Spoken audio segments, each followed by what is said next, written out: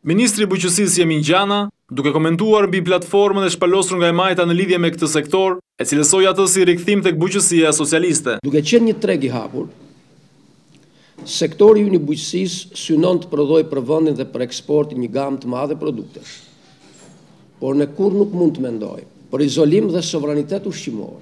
Ne kurrë nuk do t'i nënshtrohemi absurdit të ligjit socialist të mbështetjes në forcat e veta. Nuk mund t'i nënshtrohemi kurrë më parullës Lufta për bukën Luftë për socializmin. Nëpërmjet shifrave, Ministri i Bujqësisë, Ushqimit dhe Mbrojtjes së Konsumatorit ka nxjerrë në pah rritjen e prodhimit vendas gjatë vitit të kaluar.